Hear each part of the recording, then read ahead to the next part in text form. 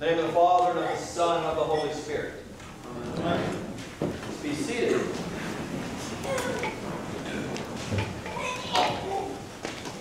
So my first job after college was uh, uh, in Norfolk. I was living at my parents' house, and that quickly uh, uh became a short-term solution. And uh, as my future wife was transferring from Arizona to Charlottesville, I moved there, looked for work, uh, and got into the legal publishing business. And I was an editor, but one of my side jobs, because I was one of the youngest people in the office, because a lot of the lawyers and judges knew nothing about how to work their computers, uh, I became their primary tech support.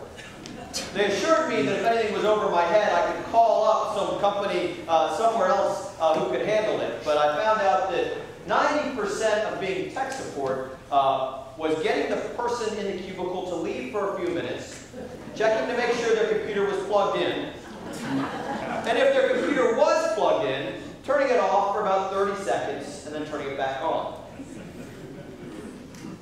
It generally did the trick.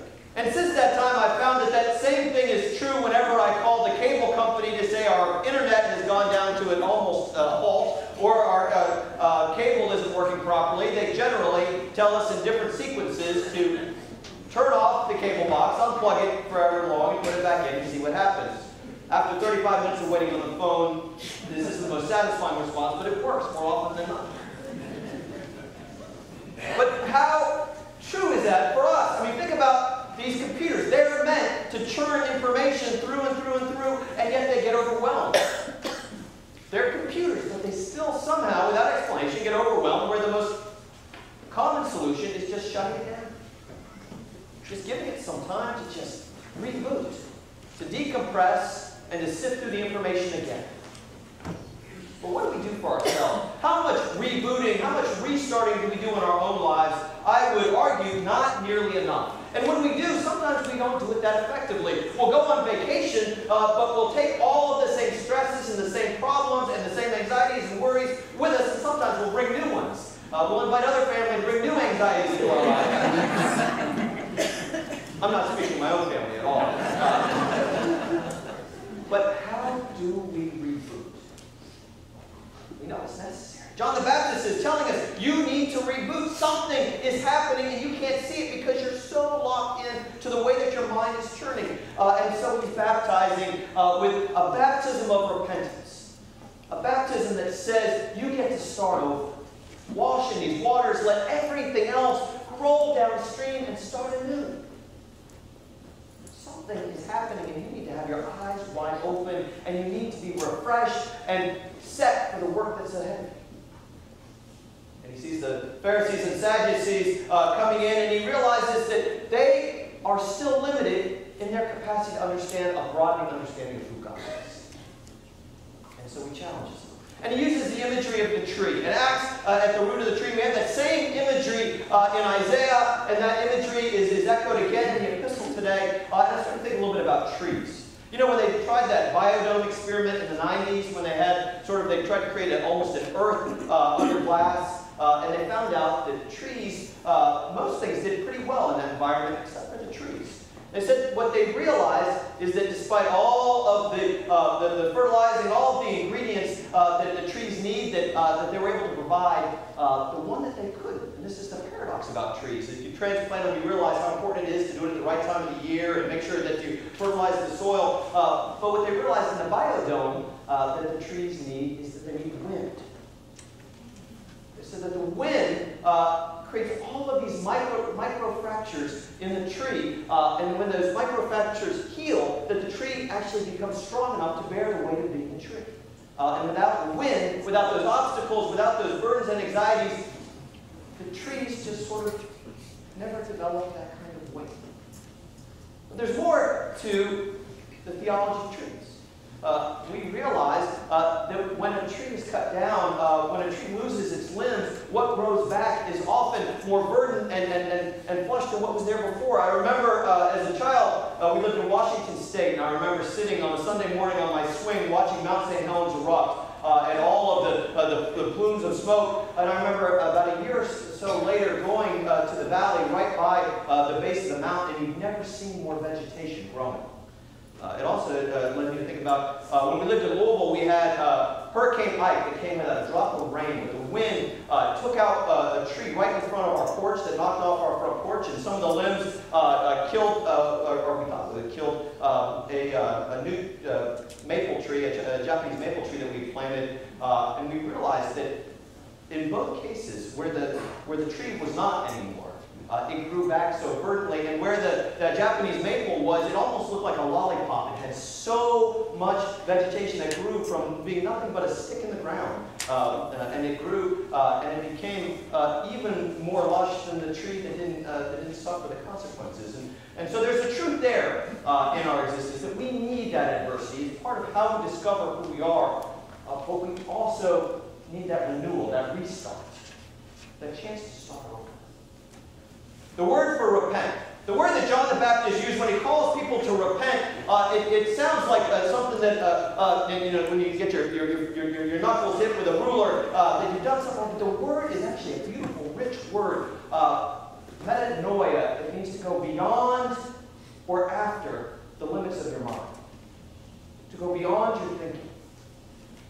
Think beyond yourself to understand something beyond what you can see. And the beautiful language uh, that we get in the uh, in, in the, the, the, Old Testament reading, in the reading from Isaiah, is that somebody will come who will be able to judge beyond what his eyes can see and beyond what his ears can hear. The king, and we get from John the Baptist, the kingdom of God, the kingdom of heaven is near. People need to be able to see beyond. There was a clergy person who had a parishioner seemed to uh, just catch fire, that something had happened to this parishioner in the last year that had transformed her participation in the church. She had grown vigorous in her participation. Uh, and she seemed to be there uh, rolling up her sleeves and just fully engaged in the life of the church. And so he decided to be a good idea uh, to ask her to share what had taken place in her life. So he asked her if she would preach one Sunday. Uh, and she accepted the invitation. She sat right there in the front pew, uh, and uh, when she was called up, she got up. She sat at the pulpit. She said, My friends, my friends, I have one thing to say to you. There is more.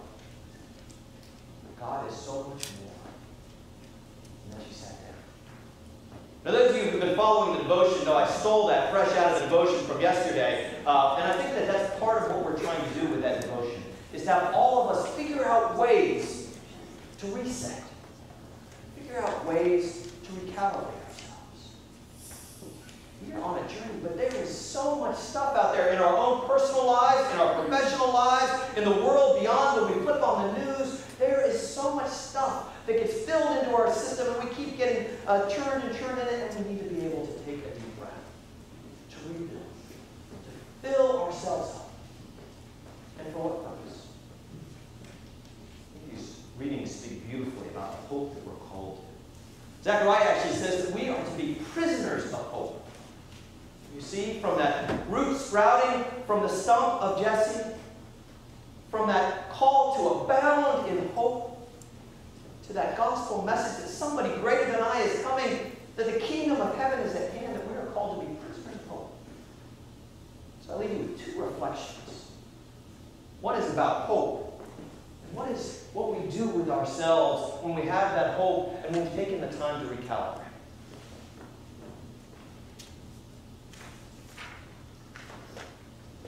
So just before the end of World War II, a Jesuit priest was executed on false charges connected with a plot to kill Adolf Hitler. Alfred Delp did participate, however, in the resistance movement against Hitler. In his writings from the terrible experience of spending years in a Nazi prison inspire us in this Advent season 70 years later. In whatever difficult days we may find ourselves, Advent is the time of promise. He wrote, is not yet the time of fulfillment. We are still in the midst of everything, and in the logical inexorability and relentlessness of destiny.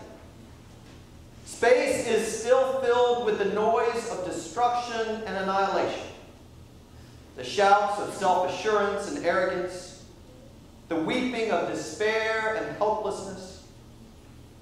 But round about the horizon, the eternal realities stand silent in their age old longings. There shines on them already the first mild light of the radiant fulfillment to come. From afar sound the first notes as of pipes and voices, not yet discernible as a song or melody. It is all far off still, and only just announced and foretold. But it has happened today. From a prison cell, an ambassador of more. And the more that we're called to be. This is from the devotion. In his book, Finding Your Strength in Difficult Times, a book of meditations, psychiatrist and radio talk show host David Viscott writes The purpose of life is to discover your gift.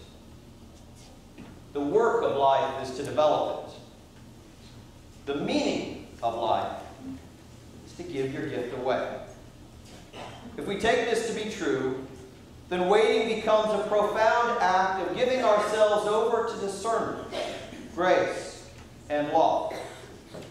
No matter our circumstances, whether we feel confusion, anxiety, apprehension, or shame, contemplation shifts the attention from ourselves to God. And in making that shift, we suspend any vestiges of self recrimination and rest in the beatitude or blessing of God. This makes all the difference in the quality of our waiting. Like the little rabbit at the window, we might come to enjoy this time of anticipation. Amen.